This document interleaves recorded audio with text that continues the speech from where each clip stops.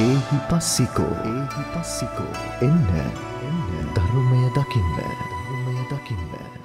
නමුතස්ස භගවතු අරහතෝ සම්මා සම්බුද්ධස්ස ඔබ සිල දෙනාටම කායික නිරෝගිකමත් මානසික නිරෝගිකමත් ලැබේවා. අදත් එහි පස්සක දේශනාව ශ්‍රවණය කරන ඔබ සිල දෙනාටම ජීවිතයේ වඩාත් යහපත් ඒවා යහපත් බලාපොරොත්තු ඔබ සිතන පතන ආකාරයටම ඉටු වේවායි කියලා ප්‍රාර්ථනා කරනවා. යම් කිසි කෙනෙකුගේ ශක්තිය බලන ක්‍රමය ඔබ දන්නවා මිනිසුන්ගේ තියෙන ශක්තිය මනින ක්‍රම තිබෙනවා. ඒ ශක්තිය මනින ක්‍රම අරගෙන බලන විට විවිධ ස්වරූපයෙන් තියෙනවා. කෙනෙකුගේ මිල මුදල්, ධනය, බලය, රූපය සහ ප්‍රසිද්ධ ස්වභාවය මේ සියල්ලක් මත කෙනෙකුගේ ශක්තිය පිළිබඳව තීන්දුව තීරණය කරනවා. මේ සියල්ලක්ම හරි. භෞතික වශයෙන් මිනිසෙකුට Tamanගේ ජීවිතයේ තුළ ඒ හිතන, පතන, ඒ ශක්තිමත් ස්වභාවය ඒ විදිහට තීන්දුව තීරණය කරන්න පුළුවන්. මම ඔබට මේ දේශනාවේදී පැහැදිලි කරන්නේ ඔබේ ශක්තිය මනින්න වෙනත් ක්‍රමයක් පිළිබඳව. ඔබ ඔබේ ජීවිතය ඔබ හිතාගෙන ඉන්න ක්‍රමයක් තියෙනවා. එක එක්කෙනා තම තමන් ගැන හිතාගෙන ඉන්න ස්වභාවයක් තියෙනවා. තමන් හිතාමත්ම ලස්සනයි, ධනෙ තියෙනවා, බලය තියෙනවා, පිරිස් බලය තියෙනවා, දේශපාලන හයිය තියෙනවා, තනතුරු වල හයිය තියෙනවා. නොයෙක් දේවල් ගැන හිතනවා. නමුත් පින්වත්නි භාගිතුන් වහන්සේගේ දේශනාවට අනුකූලව ගත්තට පස්සේ කිසියම් කෙනෙකුගේ ශක්තිය මනින්නේ එයාට ජීවිතයේ ප්‍රශ්නයක් ගැටලුවක් ඇති වුණාට පස්සේ එයා ඒවට මුහුණ දෙන ස්වභාවීය தත්ත්වය මත. ඒ නිසා ජීවිතයේ ප්‍රශ්නයකට ගැටලුවකට ඔබ මැදිහත් වෙලා ඉන්න කෙනෙක් නම් අනාගතයේ ඔබට ඔබේ ජීවිතයට ප්‍රශ්නයකට ගැටලුවකට මැදිහත් වෙන්න සිදු වෙනවා නම් එවැනි අවස්ථාවකදී ඔබ කොහොමද ඒට මුහුණ දෙන්නේ කියලා කියන කාරණාව. මේ කාරණාව ඉතාමත්ම වැදගත් වෙනවා පින්වත්නි වටිනාකමක් තිබෙනවා. මොකද හේතුව අපිට මේ කාරණාව ධර්මානුකූලව යම් විග්‍රහයකට ලක් කරගන්නම අවශ්‍ය වෙන නිසා. ජීවිතේට ප්‍රශ්නයක් ගැටලුවක් කියලා කියන එක එනකන් අපි ප්‍රශ්න ගැටලු පිළිබඳව අපි හිතන්නේ කල්පනා කරන්නේ කොහොමද මුහුණ දෙන්නේ කියලා. හැබැයි කල් වෙලා ඇතුවම එහෙම ප්‍රශ්නයක් ගැටුවක් ආවොත් මම මුහුණ දෙන්නේ මෙන්න මේ විදිහටයි කියලා කෙනෙක් හිතනවා නම් එයා එක්තරා ආකාරයකට බුද්ධිමත් කෙනෙක් විදිහට සලකන්න පුළුවන්. පංචමානි වික්‍රේ බේසනානි කියලා දේශනාවේ සඳහන් කරනවා. මිනිසුන්ට විපත්ති කර අවස්ථාවන් ජීවිතයට මොන පාන සිද්ධ වෙනවා. පළවෙනි කාරණාව ගත්තොත් ඥාති බේසනම්, භෝග බේසනම්, රෝග බේසනම්, සීල බේසනම්, ditthi බේසනම් ආදී දේශනාවේදී සඳහන් කරන විට පළවෙනි කාරණාව මා හිතනවා සාකල්යෙන්ම අපට අපේ ජීවිතේට ඔබට ඔබේ ජීවිතයට හැම පැත්තකින්ම සම්බන්ධ කරගන්න පුළුවන්කමක් තියෙනවා. අපේ හිතවත් පිරිස අපෙන් ඈත් වෙලා යනවායයි කියලා කියන කාරණාව. මේක සදාතනික ධර්මතාවක්.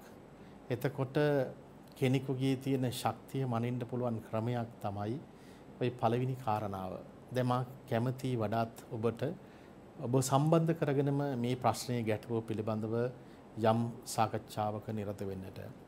දැන් ඔබ හිතන්න කල්පනා කරන්න යම් දවසකදී ඔබට ඔබේ ජීවිතයට ඔබේ සමීපතම ඉන්න කෙනෙක් වෙන් වෙලා ගියාට පස්සේ ඔබට ඇතිවිච්ච ස්වභාවය தත්තේ කොයි වගේද කියලා කියන කාරණාව. සමීපත කෙනෙක් ජීවිතේ අපි දන්නවා අපේ ජීවිත ගත වෙන්නේම සමීපතයන් එක්ක. අපි ලෝකයට ඉපදුනාට පස්සේ අපිටම කියලා උරුම වෙච්චි කොටාසියක් තියෙනවා කුටුම්බයක් තියෙනවා. අපේ අම්මා තාත්තා ඉන්නවා අපි ඥාතීන් ඉන්නවා හිතවත් පිරිස ඉන්නවා දුව දරුවන් ඉන්නවා වටපිටාව ඉන්න පිරිස ඉන්නවා සමාජ සම්බන්ධතා තියන අය ඉන්නවා. මේ සියල්ලක්ම අපිට පේනවා අපේ ජීවිතය තුළ වඩාත් බැඳිච්චි ආකාරයකට. මේක එක්තරා ආකාරයකට කුටුම්බයක් ආකාරයකට එක්තරා ආකාරයකට ගෘහයක් ආකාරයකට නොයෙක් ආකාරයෙහි බැඳීම් සහගත ස්වභාවයන් තියෙනවා. මේ බැඳීම් සහගත ස්වභාවයන් වල තමයි අපිට මේ ව්‍යසනකාරී පීඩනකාරී ස්වභාවය වඩාත් හොඳින් පින්වත්නි අපිට දැනෙන්නේ. අපිට ඥාති බේසනන් කියලා කිව්වොත් ඥාතින්ගේ නැතිවීම තමයි අපිට ඍජු ලෙසම බලපාන්නේ. ඊට මිහාට ගියාට පස්සේ ඔබේ දුවා දරුවෙක් ඔබව අත්හැරලා සමහරට විදේශ රටකට යනවා විවාහ මංගලයකට යන අවස්ථාවන් තිබෙනවා.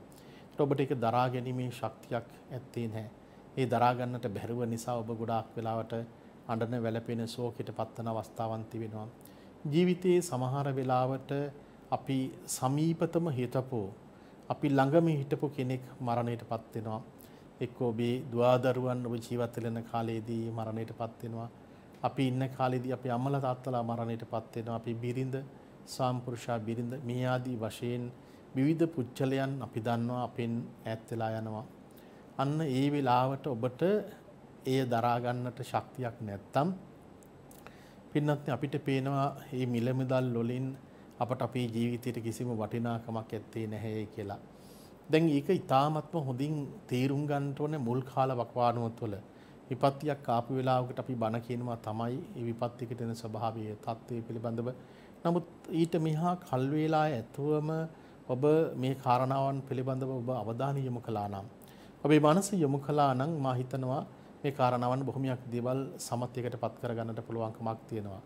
අපි දන්නවා අර පියදා පියජාතික සූත්‍ර දේශනාවේදී තිබිච්ච කාරණාව. මේ පියජාතික බමුණාට හිටියේ එකම පුතයි හිටියේ. ඒ පුතා පිළිබඳ ලොකු අපේක්ෂාවක් තිබුණා, බලාපොරොත්තුවක් තිබුණා. මේ ලෝකයේට ජීවත් වෙන ඉපදෙන හැම අම්මා කෙනෙකුගේම තාත්තා කෙනෙකුගේම තමන්ගේ දරුවන් පිළිබඳව විශාල අපේක්ෂාවෙන් යුතුව ජීවිතය ගත කරන්නේ. අපි දන්න අපි බලාපොරොත්තු සහ අපේක්ෂාවන් එක්කම අපේ ජීවිතය ගත වෙන්නේ. අපි ව්‍යාපාරය වෙන්න පුළුවන්, අපි කරන රස්සාව වෙන්න පුළුවන්, අපි දරුවන් වෙන්න පුළුවන්, අනාගතේ වෙන්න පුළුවන්. මේ අපේක්ෂාවන් වලට තමයි අපේ ගමන් කිරීම සාමාන්‍යයෙන් සිදුවන්නේ. ඒ නිසා අපිට පේනවා මේ බමුණත් Tamanගේ පුතා පිළිබඳව අප්‍රමාණ විදියට බලාපොරොත්තු සහගත තියාගෙන කටයුතු කළා. හැබැයි ඒ බලාපොරොත්තු සහගත සියල්ලම එක්තරා අවස්ථාවකදී අහිමි වෙලා යනවා. මේ දරුවා මරණයට පත් වෙනවා. අදටත් අපි දන්නවා ලෝකයේ තුල මේ මොහොතේදීත් Tamanගේ දරුවා මරණයට පත් වුණා යයි කියලා කියන ඒ හඬන වැළපෙන ශෝකිත පත්තන දහසක් අම්මාවරු තාත්තාවරු මේ ලෝකයේ තුල ජීවත් වෙනවා. දරුවා පමණක්ම නෙමෙයි Tamanගේ අම්මා තාත්තා නැතිමයයි කියලා කියන කාරණාව නිසාම හඬන වැළපෙන ශෝකිතපත් වෙනවා. අවුරුදු ගණන් ඒ ගැන හිත හිත කල්පනා කර කර පින්වත්නි කටයුතු කරන අවස්ථාවන් තිබෙනවා. දැන් එතකොට අපිට පේනවා මේ සමහර වෙලාවට කෙනෙකුගේ මනසට ලොකු වේදනාවක් ඇති වෙන්න පුළුවන්. මේ හිමිදිරි පාන්දරීම ඔබට මේ ධර්ම කාරණාවක් පිළිබඳව කියලා දෙන්නේ මේ ජීවිතයේ යථාර්ථය මත ජීවත් වෙන්න. අපි බොරුව මායාව තුළ ජීවත් වෙනවට වඩා යථාර්ථය එහෙම නැත්නම් ඇත්ත ඇති සැටියෙන් දැකලා ජීවත් වීම තමයි ප්‍රඥා ගෝචර බව කියලා කියන්නේ.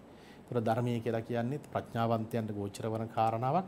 ඇත්ත ඇති සැටියෙන් දකින තාක්කල් ඔබට වඩාත් යහපත් වූ ජීවිතයක් ගත කරන්න හැකියාවක් තියෙනවා.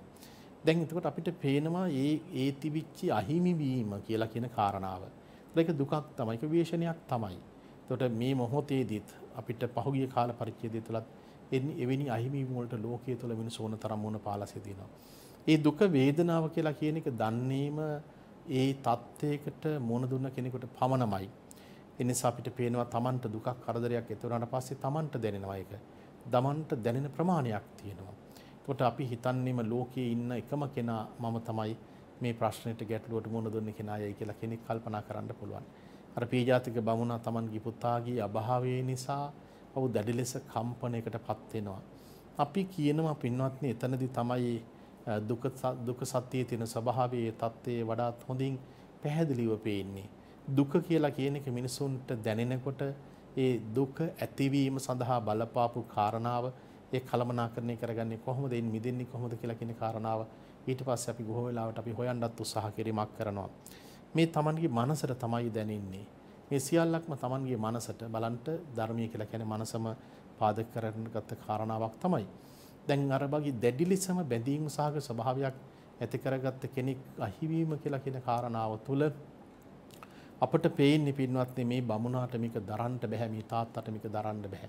ඒ දරන්නම බැරි වුණාම අපි දන්නවා සාමාන්‍ය ලෝකයේ තුල මිනිසුන්ට ප්‍රශ්නයක් ගැටුවක් ඇති වුණාට පස්සේ ඒ මනසට දැනුණාට පස්සේ ඒක විවිධ භෞතික ශාරීරිය තුළින් විවිධ මතුවීම් පෙන්නනවා. මනසේ සමහරලාට අපි hina වෙලා කතා කරලා හිටියත් මිනිස්සු හිත ඇතුලේ දුක තද කරගෙන ඉන්නවායි කියලා කියනවා. අපි hina වෙලා කාලා බීලා හිටියත් මිනිස්සු Tamanගේ ගැටලු ප්‍රශ්න මනසේ තද කරගෙන ඉන්නවායි කියලා කියනවා. ඒක හොඳ කාරණාවක් නෙමෙයි පින්වත්නි. මේ බමුණට තාත්තට හිතෙන්නෙම මම ඇයි ව්‍යාපාර කරගෙන යන්නේ? ඇයි මම කන්නේ බොන්නේ? මට අවශ්‍ය නැහැ. මගේ එකම පුතා මරණයටපත් වුණා. මෙයා සෝහන ළඟට ගිහිලා වැළපි වැළපි කියනවා මගේ පුතා මරණයට පත් වුණා කියලා. පින්නත්නි දැන් කොයිතරම් සෝහන ළඟට ගිහිල්ලා ඇඬුවත් වැළපුණත් Tamanගේ පුත්‍රය ආපහු එන්නේ නැහැ කියලා කාරණාව අපි තේරුම් ගන්න අවශ්‍ය වෙනවා. අපට අයි කවදාවත් මේ ඇස් දෙකින් යාව අපිට මිහි පිට දකින්න ලැබෙන්නේ නැහැ. නමුත් අර මනෝභාවයට පත්වෙච්ච කෙනෙකුට අපට පේනවා ඒක එහෙම දෙයක් තේරුම් ගන්න බෑ. මොකද සම්පූර්ණයෙන්ම මනස සම්පූර්ණයෙන්ම Tamanගේ තීචි පාලනින් ගිලීලා ගිල එක්තරා ආකාරයකට.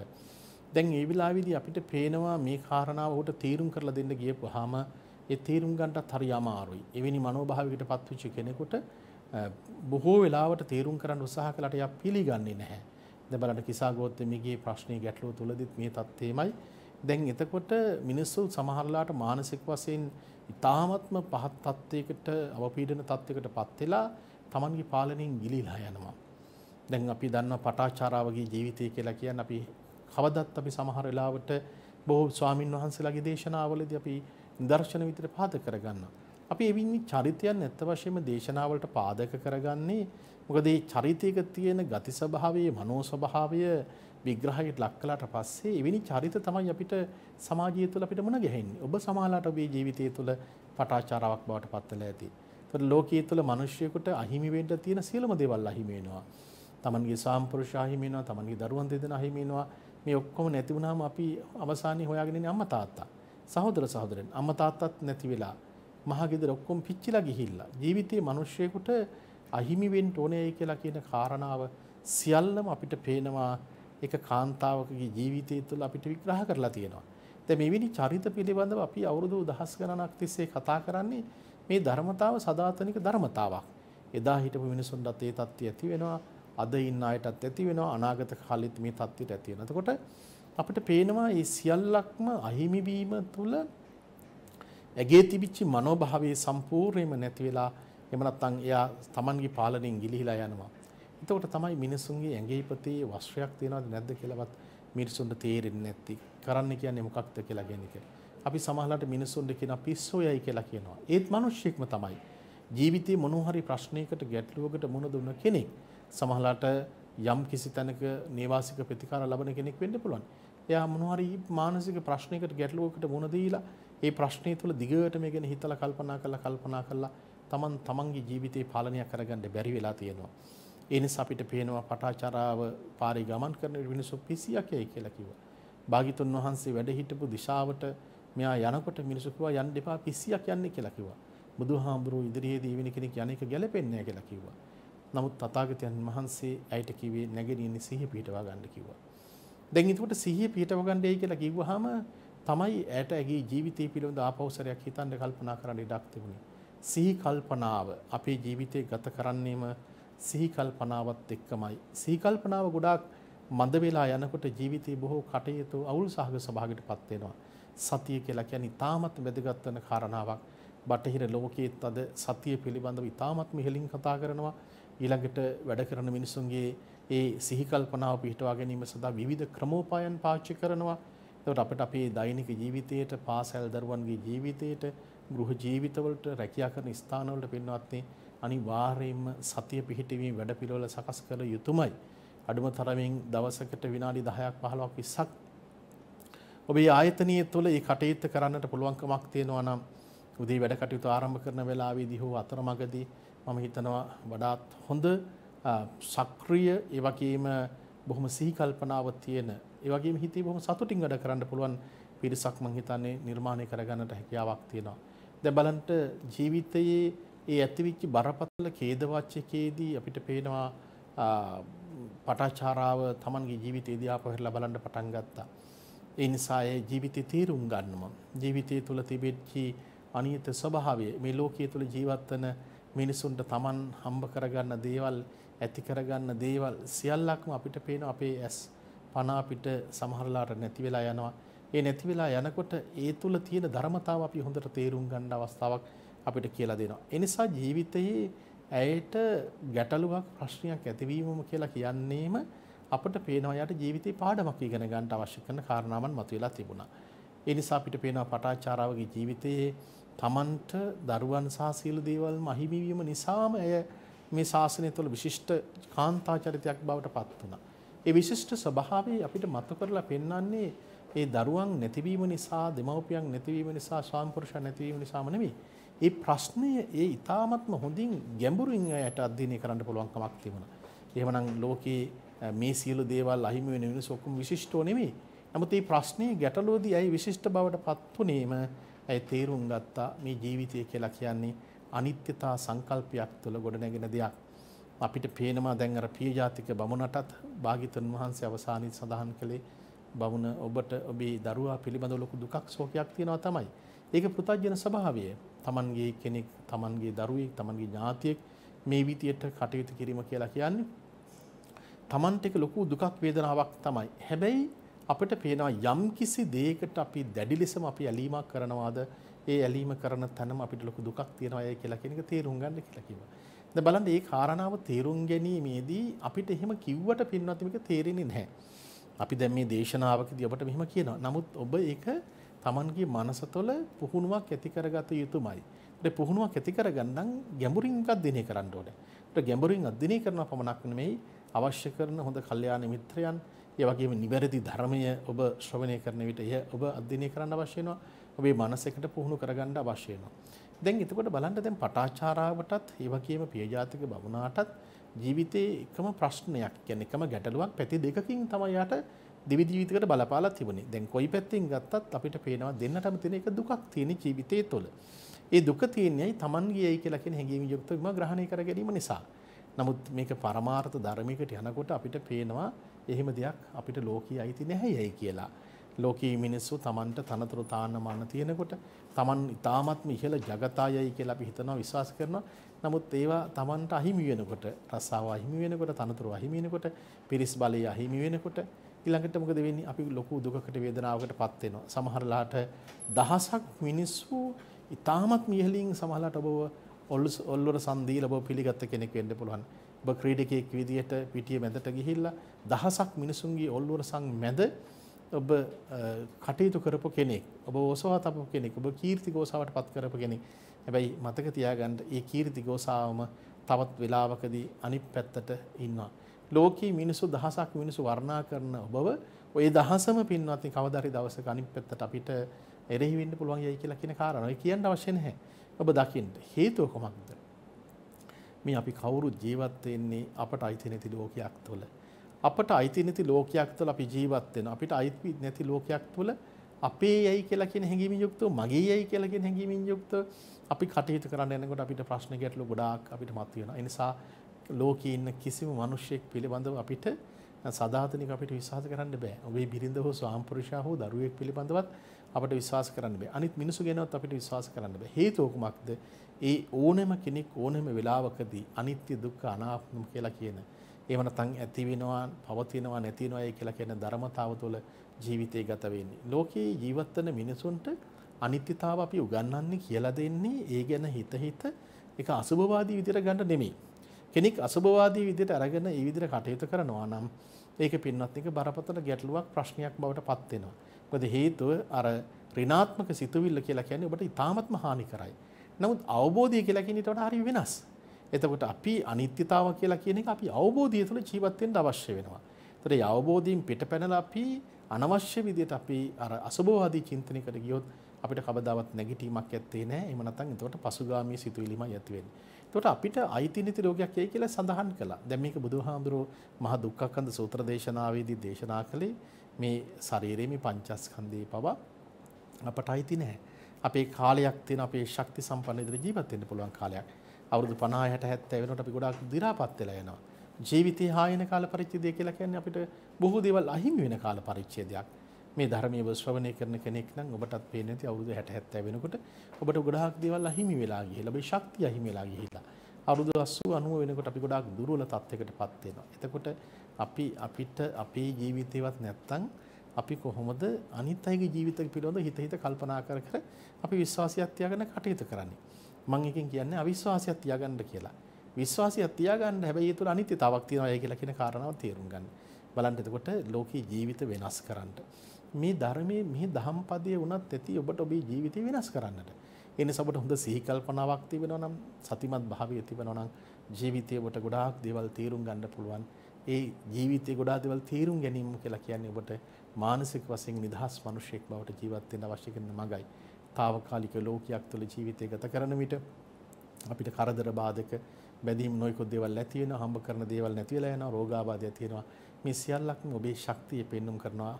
ඔබ කොහොමද ඒවට මුණ දීමේ කියලා කියන පදනම මත. ඒ නිසා අදත් ඒ පස්සකෝ දේශනාව සඳහා දායකත්වයේ දරපු පින්වත් ඔබටත් මේ පවුලේ ජීවිතන හැමදෙනාටත් නිදුක් වේවා නිරෝගී වේවා සුවපත් වේවා. ඔබේ පරම්පරාවේ මේ ගිලින සියලු දෙනාට පින් අනුමෝදන් වේවා උතුම් ධර්මයේ ශ්‍රවණය කරපු ලක්වාසී ලෝකවාසී ඔබ සියලු දෙනාටම නිදුක් වේවා නිරෝගී වේවා උතුම් චතුරාර්ය සත්‍ය ධර්මයේම අවබෝධය ලැබේවා කියලා ප්‍රාර්ථනා කරනවා හැම දිනකටම සම්මා සම්බුදු සරණයි.